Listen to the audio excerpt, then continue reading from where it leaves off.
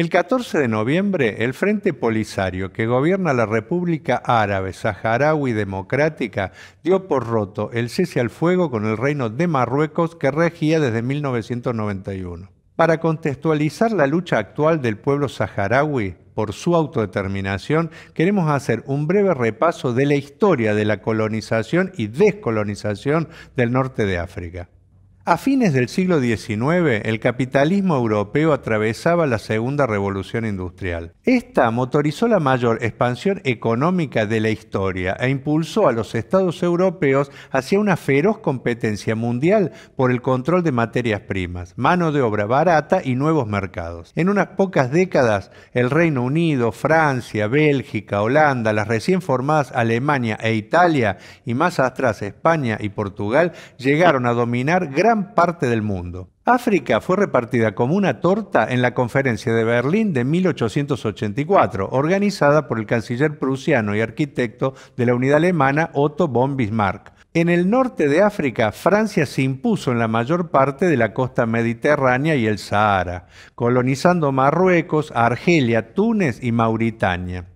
El Reino Unido ocupó Egipto, recientemente independizado del decadente Imperio Otomano, y también Sudán. Italia conquistó Libia y España mantuvo su dominio del Sahara Occidental al sur de Marruecos. Como siempre, la opresión y explotación generan resistencia. Ya en 1910, las colonias británicas del sur del continente se independizaron y formaron la Unión de Sudáfrica, aunque el imperio británico logró mantenerlas como dominios de la corona. Tras la Primera Guerra Mundial estalló una revolución independentista en Egipto y el Reino Unido fue obligado a reconocer el fin de su protectorado, aunque mantuvo el control del estratégico canal de Suez. Sin embargo, fue al final de la Segunda Guerra Mundial, al calor del ascenso revolucionario que recorrió el mundo entero, que el proceso de descolonización despegó en África, así como también en India y en el sudeste asiático. Libia fue la primera colonia africana en lograr su independencia. Tras la derrota de Italia, los aliados instalaron una monarquía relacionada a Arabia Saudita y que favorecería los intereses británicos. El establecimiento del Estado de Israel en 1948 fue otro detonante del movimiento de masas en los países árabes. El papel traidor que jugaron las monarquías de la mayoría de ellos los convirtió en blanco de una movilización revolucionaria en ascenso. En 1952, un sector de los jóvenes oficiales del ejército egipcio derrocó a la monarquía y adoptó una política anticolonial, nacionalista y panárabe. El nuevo gobierno, dirigido por Nasser, implementó una reforma agraria y nacionalizó industrias claves. Sin embargo, lo que lo elevó como héroe del movimiento en la región fue la nacionalización del canal de Suez en 1956. El año siguiente, Egipto y Siria fundaron la República Árabe Unida y fuerzas nacionalistas panárabes tomaron el poder también en Irak. Nasser también apoyó a los rebeldes que venían luchando contra la ocupación francesa en Argelia, otro epicentro de la revolución anticolonial que atravesaba el continente. La resistencia contra la ocupación francesa se había disparado tras la masacre de 45.000 argelinos en 1945 y había iniciado una lucha armada con guerrillas urbanas en 1954, cuando diversas organizaciones independentistas fundaron el Frente de Liberación Nacional. En 1956 Francia le otorgó la independencia a Marruecos y Túnez para intentar evitar que se extendiera la rebelión. El plan francés era conceder una independencia formal a sus colonias, instalando gobiernos dependientes y formando una comunidad económica como la Commonwealth que el Reino Unido tiene con numerosas excolonias.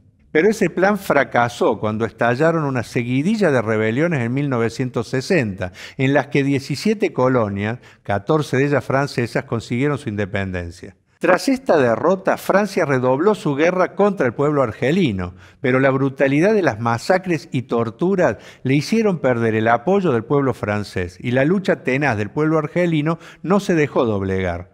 Derrotado, el gobierno de De Gaulle tuvo que reconocer la independencia de Argelia en 1962. El nuevo gobierno argelino nacionalizaría las propiedades francesas y otras empresas clave de la economía e implementaría una reforma agraria, entre otras reformas progresivas.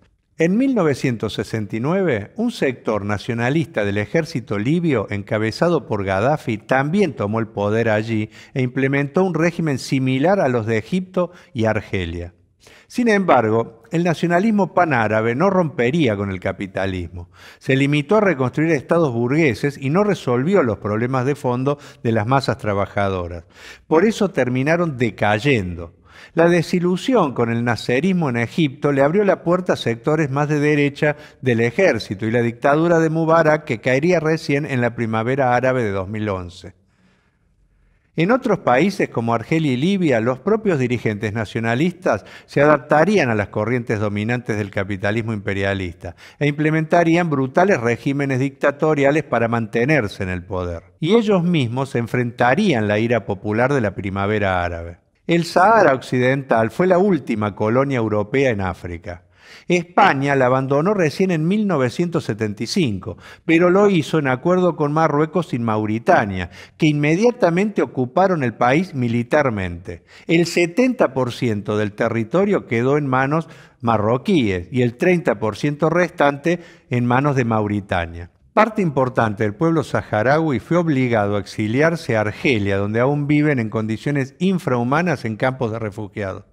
El pueblo saharaui, sin embargo, se levantó en armas por su autodeterminación. Dos años antes se había fundado el Frente Polisario, con el objetivo de luchar por la expulsión de España y lograr la independencia del Sahara Occidental. Se fundó sobre bases nacionalistas panárabes y socialistas y encabezó el levantamiento popular y la guerra contra las nuevas fuerzas ocupantes. En 1976, el Polisario proclamó la República Árabe Saharaui Democrática. En 1979, sus fuerzas triunfaron sobre Mauritania, que se retiró del territorio que ocupaba, pero la guerra continuó contra Marruecos. En 1981, el gobierno marroquí, una monarquía aliada al imperialismo español y francés, levantó el muro de la vergüenza a lo largo de 2.500 kilómetros de desierto, con fortificaciones y minas terrestres dividiendo el país en dos. Los combates duraron hasta 1991, cuando se firmó un alto al fuego en base a la promesa de Naciones Unidas de realizar un referéndum de autodeterminación. Por supuesto, el referéndum hasta la fecha no se ha realizado. Al contrario, la ONU no ha movido un dedo más allá de las declaraciones, mientras Marruecos, con el apoyo de España, Francia y la Unión Europea, mantiene su brutal ocupación y saquea los recursos del pueblo saharaui. De hecho, los países y empresas europeas son socios de Marruecos en numerosos negocios que explotan la pesca y el fosfato del Sahara Occidental. Por ejemplo, la alemana Siemens Gamesa tiene varias licitaciones del gobierno marroquí para construir parques eólicos en el Sahara Occidental ocupado. Los generadores que Siemens ya tiene en el país abastecen de energía a las minas de fosfato que ubican a Marruecos como tercer exportador mundial del mineral, solo detrás de Estados Unidos y China.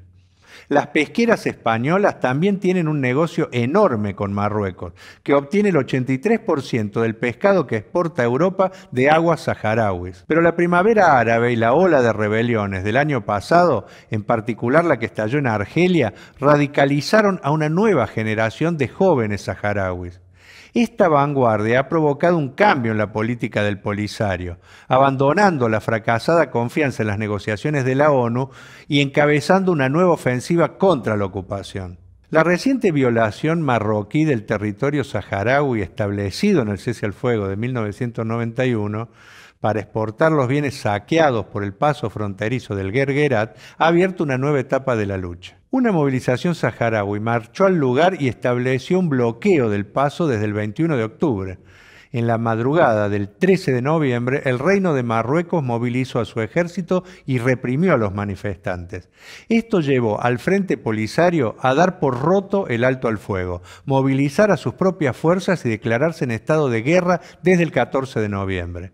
Desde la Liga Internacional Socialista venimos impulsando una campaña internacional de solidaridad con el pueblo saharaui, en apoyo a su lucha por liberarse de la colonización marroquí y lograr su derecho a autodeterminación autodeterminarse. Ante esta nueva situación y el peligro mortal del ejército marroquí, uno de los más armados de la zona, redoblamos nuestra campaña. Llamamos a todas las organizaciones y personalidades de izquierda y democráticas de todo el mundo a rodear al pueblo saharaui de solidaridad, a repudiar la criminal ocupación colonial de Marruecos y a apoyar el derecho fundamental de autodeterminación del Sahara Occidental.